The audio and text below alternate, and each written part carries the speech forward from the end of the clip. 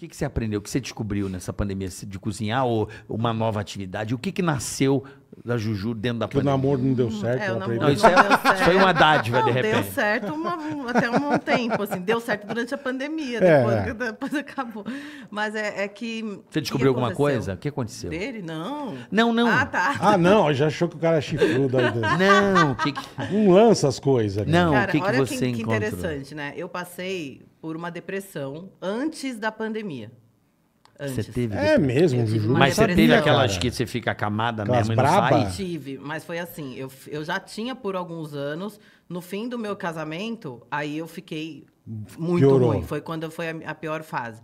Então eu passei meses ruim e, e eu comecei tratamento, recuperação, então assim, tratamento Caraca, com terapia, né? com espiritual, que eu sou muito ligada, e eu me curei.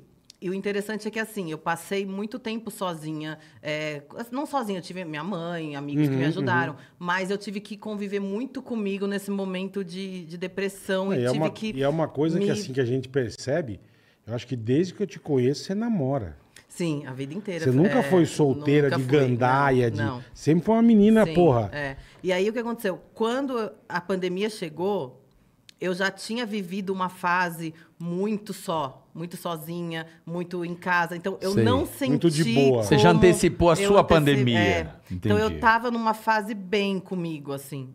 Então, as pessoas que não, não estavam acostumadas a ficar muito quietas, muito sozinhas, Em muito casa. se ver, sabe? Uhum. Passaram por vários problemas Porra. men- é, psicológicos. Porra. Então, eu não, eu já, eu já tinha me encontrado, eu fiquei muito tempo em contato comigo. Então, eu passei uma pandemia bem, graças a Deus. E esse eu digo. namorado apareceu antes um pouquinho ali. Foi logo, um pouco antes, é, tipo Sorte, alguns meses hein? antes. Deu sorte. Foi sorte.